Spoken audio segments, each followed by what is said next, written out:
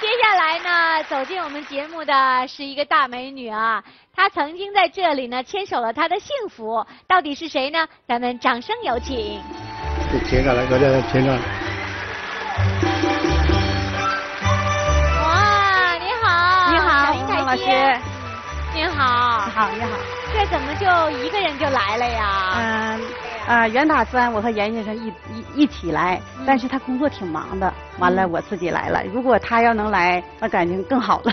是吧？嗯当时他跟一位先生牵手了，我们可以看一下当时的情况。在二零一七年十月十三日的节目中，严先生为陈女士而来。刚才是三号在讲话，我可能是我喜欢那个女士过来了吧？是不是弄错了呢？你认识的陈娟长头发、短头发？长发、我是长发，哦，大眼睛小眼睛，大眼睛，大眼睛，对上了，两人在场上欢乐无限。都帅，都是我心目中的男神。他说王文健老师，我吃醋了，长得帅，我吃醋了。最喜欢小黑老师啊。。对，那你的意思就是他比王文健老师帅了？是的，他们对爱情认真且负责。为了爱情，可以什么都放弃。不会让你后悔的。三三号女嘉宾，最终，严先生以自己的真诚和勇敢打动了陈女士的心。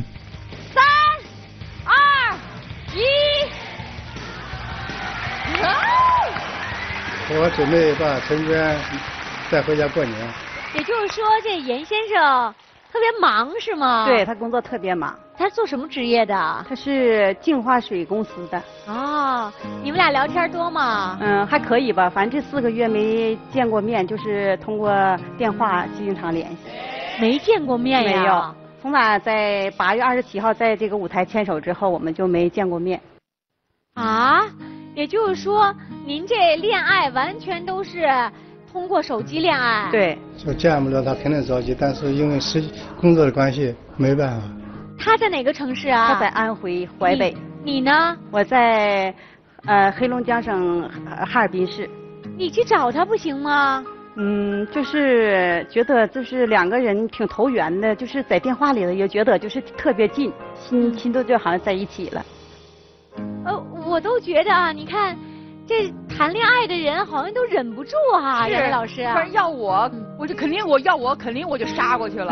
王老师，假如你要特别爱一个女士，四个月都没见过面，只靠手机，您您会不会去找她呀？别说四个月，四四四天都等不了。所以我就觉着，那先生也没去看你吗？呃，没有，他到底爱不爱你呀、嗯，我感觉爱，只不过就是工作太忙了。他跟你说过吗？说过，很爱你啊。对，说过。想一想，那老视频的人，那肯定是放不下才老视，对。你们俩经常视频吗？嗯、没有视频，我一次都没有过。视频都没有视频过，啊，一次都没有过。没有过，一次都没有过。就打电话。哪！对，就是那你还记得他他的模样吗？轮廓能记住？嗯，我准备和陈娟女士好好的度过下半生，开开心心、安安稳稳的过日子。那也就是说，你对他的所有印象都是在我们节目现场。。对对对。当天节目录完了之后呢？呃，录完之后，他回他的城市，我回我的城市。不，你俩吃了一顿饭吗？。对，就吃了一顿饭。那个没逛逛北京啊？我们这节目在北京录。没。有，因为他工作特别忙，工作忙，那不他不也得谈恋爱吗？就是基本上就是电话吧。你跟他每天都在交流什么呀？跟我们分享分享。啊，他说的，二零一八年如果要是他的事业如果的，就是比较顺利的话，就是我们就已经结婚。相信他会接受我的求婚的。结婚要去哪儿啊？去他那个城市，在他你那安家。做好准备了吗？做好准备。你还在工作吧？。对，可以到那边也接着工作。嗯。结婚以后到哪来住哪都行，随便他。所以我觉得，他们一定是对这份爱情非常坦然，他们才能呃这么说哦，将来我怎么样？将来就谈到了未来，是不是王老师啊？这个恰恰说明他们挺好的，嗯恰恰说明他们认真了。嗯按照他们现在的这个内容去看呢，应该是两个人在一起很久才会有这么扎实的感情。嗯。虽然不能每天见到面，但是他们是认真的嗯啊，认真到了我们大可不必非得以那种热恋的那种状态相处着。也可能像他们这种状态，可能更容易长久。嗯，所以呢，我一直期待呢，能够在我们的门当户对中啊，让你们再次相遇。筹备这期春节特别节目的时候，我们联系到严先生和陈女士，已经四个多月没有见面的他们都非常期待这次录制。但严先生因为工作原因，一直不能确定是否能够来到现场，直到节目录制前一天，他才确定可以来录制。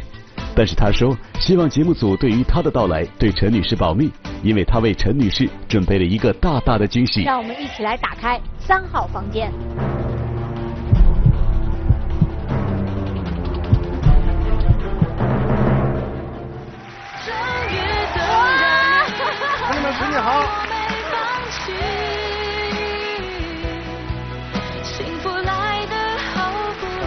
那对不起，呃，因为工作时间啊比较比较忙，实在对不起。为什么呢？我今天也是特别抽出时间来，呃，实际我心里是特别爱你的，你不要误解，也别想的那么多。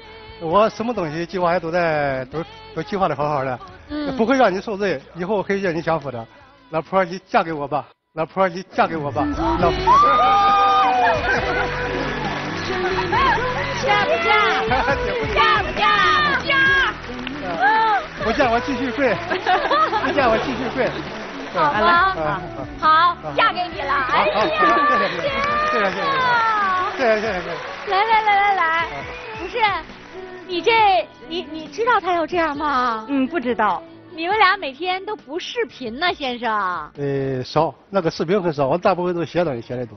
呃，宝贝儿啊，我想你了。这样的也有。这样的也有这样的也有。其实我会觉得啊，嗯这位先生非常的朴实。一开始我都不能理解，他们说四个月没见过面，我都在想这事儿估计黄了吧？是这样想的吗？真是，咱俩想法一样。刚才我都感觉，这是有爱吗？这是一点冲动的感怎么都没有啊？嗯，哎，你忙什么呢，先生？现在我又注册个那电电商电子商务有限公司，所以我现在所有东西写东西的资料，还有好多一些计划，啥东西我一个人都去做。哦现在我我得要付了好几个人的工资，所以说我一个人也得有压力也有压力，对。嗯，每天都在十二点钟之前我才能睡觉。哦我，就所以呢，一直在努力，争取呢要为他创造更好的生活，哎，对，吗？也是为了以后过上好日子。其实很好，而且王老师，我们这位先生这么匆忙的情况下，我真的觉得他想的特别周到啊！这么匆忙，不但给女士买了花儿，还给我们带来了礼物。小心，小心！啊，哇，谢谢，来先生到这里来。这位女士开心吗？开。心，没想到吧？没想到。这回你们终于在这里又一次见面了，而且这就算求婚了吧？你这辈子做过这么勇敢的事儿吗？没有，我 紧张呢。紧张对，特别是送花更紧张，没送过花，没买过花，第一次吗？第一次。他们站到这里，我特别开心啊！啊，来到我们这个节目的每一位嘉宾，他们在生活中啊都是特别朴实的人，呃，可能正是因为他们这种平凡中的小事啊，才更让我们暖心和感动。没错，真是这样。我觉得咱们栏目好就好在，都是普普通通的百姓人家的故事普通的，嗯，又那么朴实，那么淳朴，就他们这份感情。刚才我看前面大屏幕有一个有一个嘉宾说的一句话特别好，他说门当户对的舞台，激发了我们新的生命。嗯，真的是祝福你们，真的是开始新的生活。这样的瞬间，其实，呃，幸福的是他们，享受的是大家。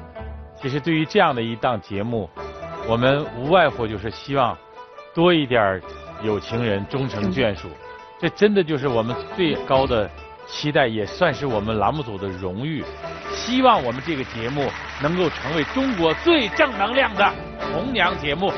是，也充分说明了一个问题：人心向善。是的，再次让我们一起祝愿电视机前的观众朋友们过年好，过年好，谢谢，谢谢大家。